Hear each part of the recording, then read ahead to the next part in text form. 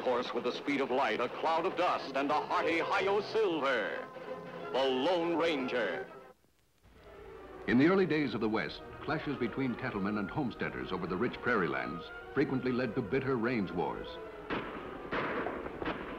It was in the spring of 1863 that such a war seemed imminent in Sunset Valley.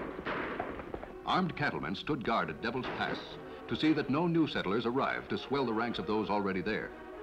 It was inevitable that tales of the violence and fear in Sunset Valley should come to the attention of the Lone Ranger and Tonto.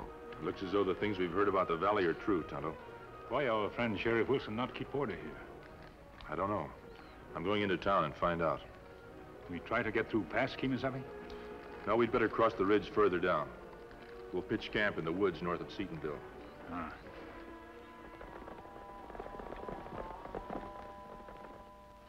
See anything just then? Like what?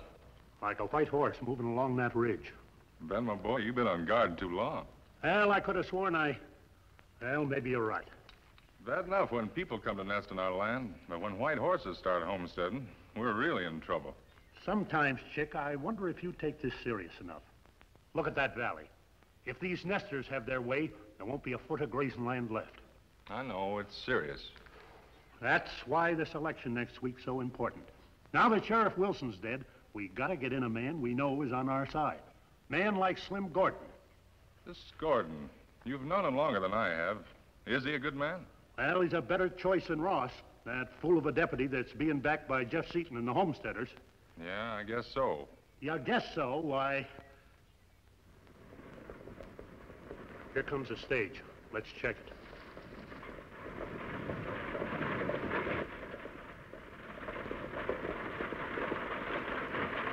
Matter, Chick? Just checking passengers. All right, stranger, state your business. What do you aim to do in Sunset Va- Were you talking to me? Why, I... Yes, ma'am, I reckon I was. Well, Well, I was just wondering why you decided to come to Sunset Valley. I mean, if you wouldn't mind telling us. of course I wouldn't mind. I'm the new school teacher. I see. Well, may I go now? Oh, uh, hmm, well, sure. It's all right, Ben. New school teacher. Sure you don't want to escort her in? That might not be a bad idea at that. We've been having a little trouble in the valley lately. Maybe I should come along with you. Hey, wait a minute. It's just a simple act of courtesy, Ben.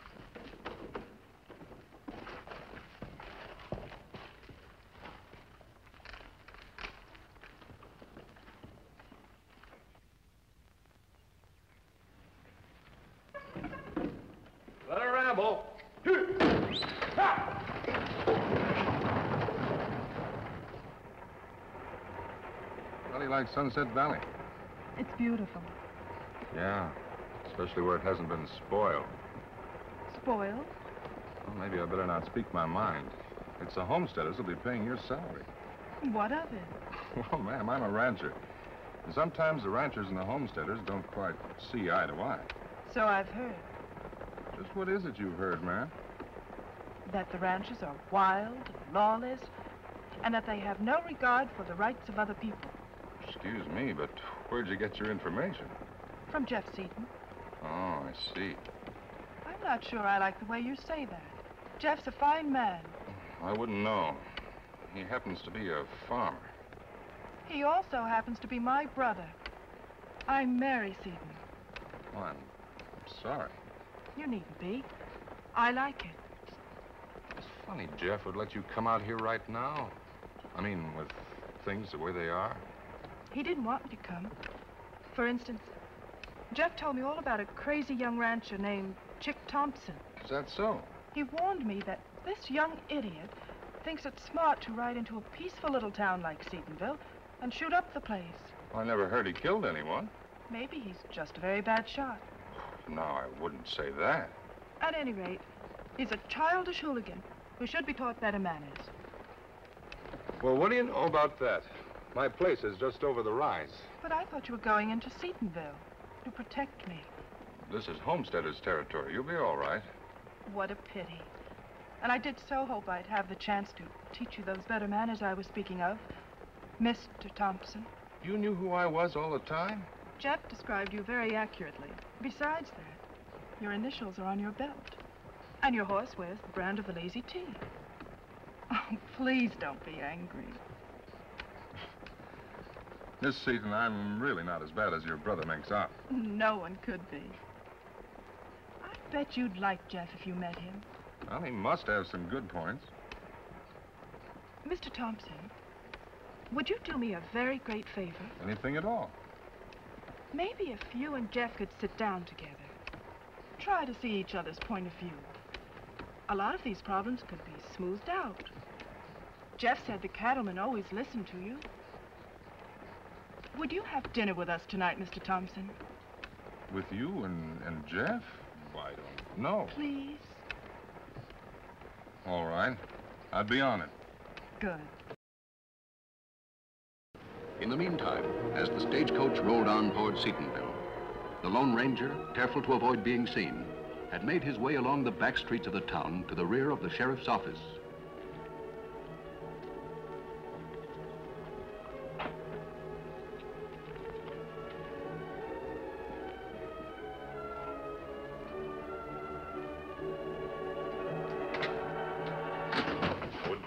Try that if I were you. Who are you? What do you want? I came to see my friend, Sheriff Wilson. Tom Wilson was never friends with an outlaw. I'm sure he wasn't. Then what? Wait a minute. Tom used to speak about a masked man that rode a white horse and carried silver bullets. So you're... Welcome to Seatonville, mister. I'm John Ross, deputy sheriff of this county. Glad to know you, Deputy. Uh, where's Tom Wilson? Wilson's dead. Dead? He was ambushed about a month ago, shot in the back. Who did it? I'm not sure, but I can make a guess. You see, there's been trouble in the valley, mister. The ranchers against the homesteaders. Tom Wilson tried to be fair to both sides. The cattlemen didn't like that. You think the cattlemen were responsible for his murder, then? There's no proof. But as soon as Tom was dead, they called for a special election. They put up a man named Slim Gordon to run against me. Maybe you've heard of him. Yes, I have. He has a bad reputation in Texas. Where can I find Slim Gordon? Well, when he isn't hanging around town causing trouble, he's usually with Ben Chalmers out at the Lazy T. That's Chick Thompson's ranch. I'll ride out there with you if you want me to. That won't be necessary, Deputy.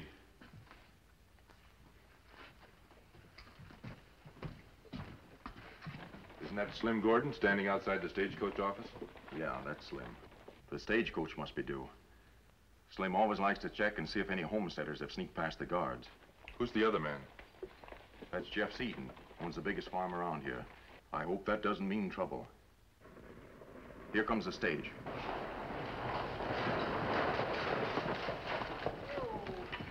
I'd better get out there. Mary, it's good to see you. How was the ride? The last part of it was very pleasant. Jeff, I'd like you to meet Thompson. What are you doing here? Jeff. Don't you know who this man is? Oh, wait a minute, Seaton. You keep out of this. Haven't you caused enough trouble already?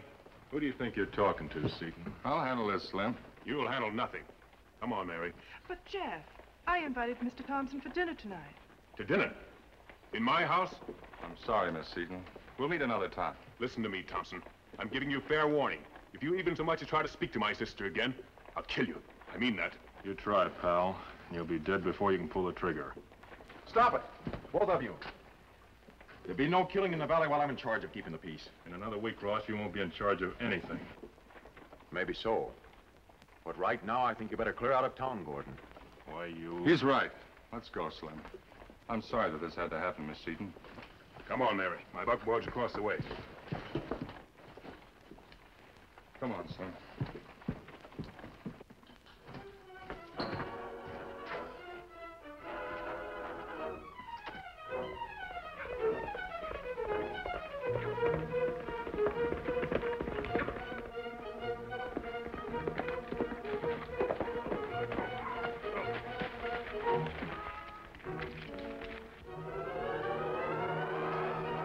What'd you learn, Kemosabe? The situation in the valley may be worse than we thought, Tonto. What'd Sheriff Wilson say? Tom Wilson's dead. He was dry gulched. They're holding a special election for sheriff next week. The cattlemen are backing Slim Gordon against the present deputy. Slim Gordon. We hear about him in Texas, him mixed up in cattle rustling. Yes. And if he's elected sheriff, he'll be in a position to follow those same practices here. But homesteaders outnumber cattlemen in Valley, Kemosabe. Them not vote for Slim Gordon. That's true. Gordon would be defeated if the homesteaders are allowed to go to the polls. What you mean? Well, suppose a range war were started before they held the election. The homesteaders might be afraid to vote. And war mean many deaths. It means more than that, Tonto. The West needs farmers as well as cattlemen. There's plenty of room for both. If they can't live in harmony with each other, that might set back the development of this territory for years. What we do, Kemosabe? You'd better keep an eye on Slim Gordon. He's staying at the Lazy T Ranch with Chick Thompson. Already there's bad blood between Thompson and Jeff Seaton, one of the homesteaders. Gordon may try to force them to a showdown. He mustn't succeed, Tonto. Me understand, Kemosabe. Sometimes I don't understand you at all, Chick. Never thought you'd run away from a fight. What I do is my business. The way Seaton was ordering you around, it sounded like... Forget it, Slim. I'm going out to look at that new shipment of cattle. Don't you want something to eat? Hi, Chick. What's the matter with him? I think maybe he tripped over a petticoat. Huh?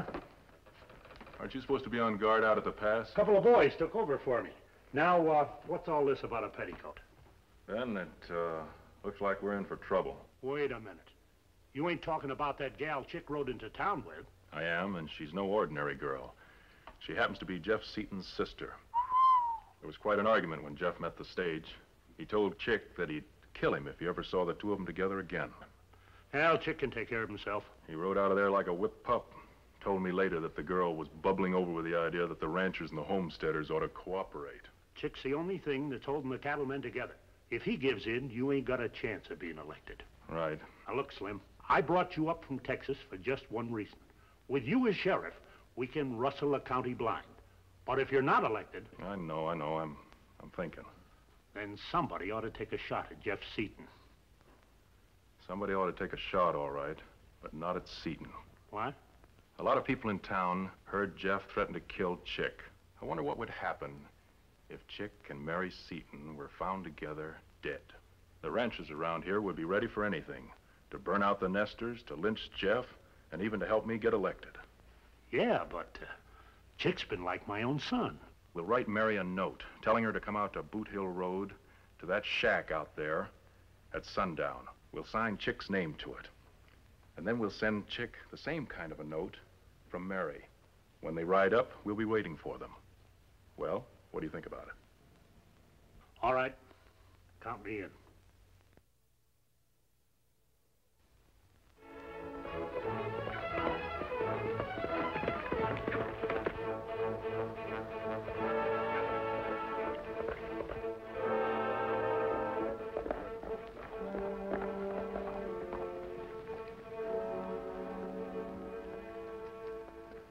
Have right idea, Kemosabe. Slim Gordon plan range war. How? Him send note to Mary Seaton and Chick Thompson. Tell them to meet each other at old shack on Boot Hill Road. When Thompson and girl ride up, Gordon and man named Ben shoot them. And Jeff Seaton will be blamed for the murders. Ah. When does this take place? At sundown, Kemosabe. How we stop them? The most important thing is to let Chick Thompson see what his so-called friends plan to do. Our only hope is to let Thompson see for himself just how they intend to rule the valley. We catch crooks in own trap? Exactly. Now, this is what I have in mind. First, we'll let Chalmers and Gordon deliver their notes. Then I'll get in touch with the deputy while you... Well, did you give Mary the message? She said she'd be there. She swallowed the bait as easy as Chick did. I wish we didn't have to do this. Grow up, Ben. You're a big boy now. Yeah. Well, should we start for the shack? You know, I've been thinking. A lot of people saw me hanging around when Jeff and Chick were arguing. Just so nobody gets any fancy ideas, I think I'm going to establish an alibi first. How? By sticking to the deputy until his job is over. You are. What about me? Use your head, Ben. One of us can handle this business. If I'm in the clear, the people will listen to me when I start talking against Jeff. Well, I guess you're right at that. Let's go.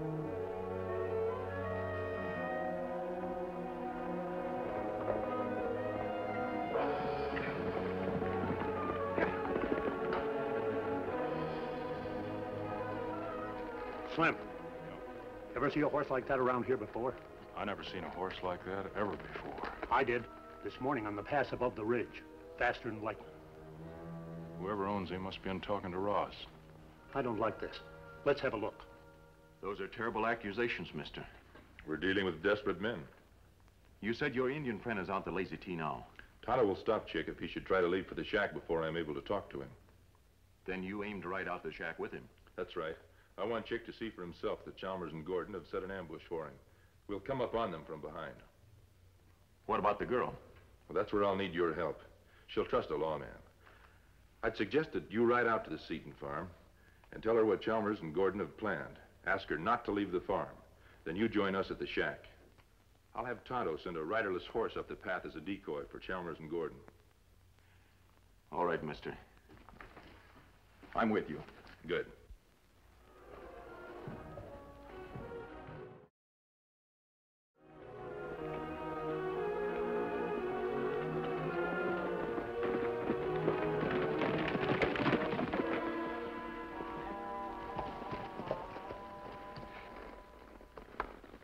Well, we're finished. What'll we do now? Who says we're finished? But if Ross gets to the girl, It's too late to back out now. But Ross has got to pass here to get to the Seaton Ranch, and something tells me he's not going to make it. yeah, but even if he kills him, how will that keep Chick from, uh... Look, the important thing is that the girl and Chick are found dead together. Now, what's to prevent you from going back to the Lazy T, shooting Chick, and bringing his body up to the shack after dark? That way nobody will see you. What about the masked man? Take care of him, too.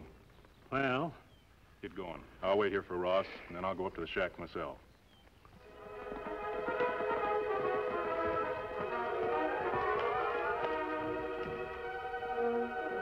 Ten minutes later, Deputy John Ross urged his horse along the road leading to the Seaton farm.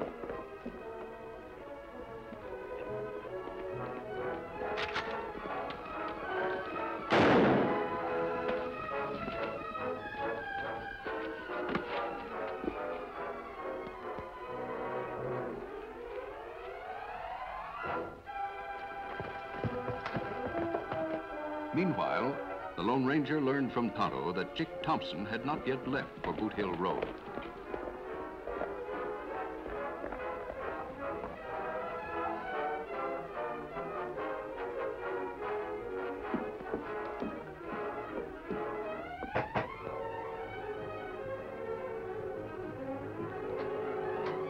Oh, what the? Don't draw, Thompson. You. You know my name? I know quite a lot about you. Well, what do you want? What's the idea of the mask? Never mind the mask. I'm here to help you. Who says I need any help? You received a note signed by Mary Seaton, asking you to be at the old shack on Boot Hill Road, didn't you? Why, yes. Ben told me some Indian brought it while I was gone. Mary received the same kind of note signed with your name. I don't get this. Those notes were sent by Slim Gordon and Ben Chalmers. They hoped to kill you and Miss Seaton as you rode up to the shack. Then they'd spread the word that Jeff Seaton was responsible. In the range war that was to follow, they planned to get control of the valley. Well, you must be out of your mind. I almost wished he was myself. Don't move. Drop your guns, both of you.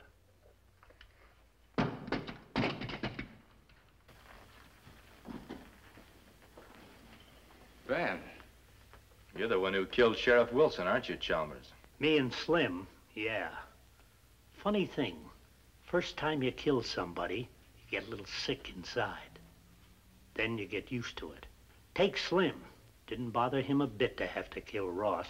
Ross is dead? If he's alive, mister, Slim is losing his aim. He was waiting for him at the bend of the road, about a mile before you get to the Seaton farm. Well, then Miss Seaton's... On her way to the shack, right. Ben, for the love of heaven. Sorry, Chick. Good work, Tonto. You wonder what keep you so long, Kemosabe. Tonto, I want you to try and find John Ross. He may still be alive. Ah. You stay here and watch Chalmers. I'm going to the shack. Well, let me come with you. Somebody has to stay here and guard him. But if I... There's no time to argue. I must get to the shack before Mary does.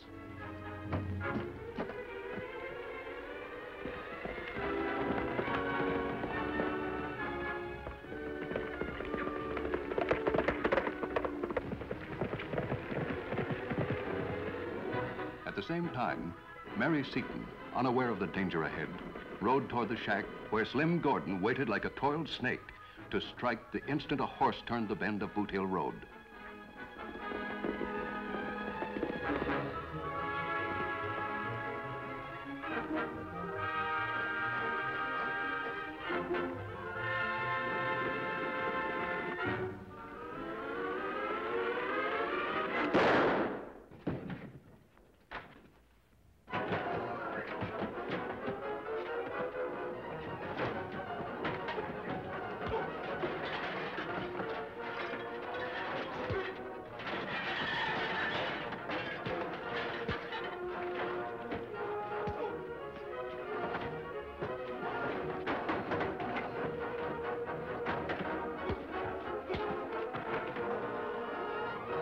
On, Gordon. You're going back to town to stand trial for the murder of Tom Wilson. By nightfall, Ben Chalmers, hoping to win a jail term instead of hanging, had signed a full confession and had implicated Slim Gordon in the murder of Sheriff Wilson. Gordon, faced with this accusation, admitted his guilt the following morning. Well, those two are through causing trouble in Sunset Valley, thanks to you and Tonto, mister. I think Chick Thompson has something he wants to say, Deputy. I just want to tell you, Ross, that nobody will be causing any more trouble in Sunset Valley if the cattlemen have anything to say about it. We're in back of you for Sheriff 100%. And Jeff, Yes, Thompson? it seems to me it's about time I admitted I was wrong. From now on, I'm going to do everything I can to see that the homesteaders get a fair break in this valley. How about you, Jeff? Can you admit that you might have been wrong, too? About Chick? Well, I never did like family feuds, and it looks as if he just might become a member of the family. Jeff. Come on, Tonto. You and I have work to do. Adios. Goodbye. Goodbye. He's quite a man. I wish he'd stay in Seatonville. Oh, he'll be back if he's ever needed, Miss Seaton. Who is he, Ross? Don't you know Chick? He's a Lone Ranger. Oh, Get over!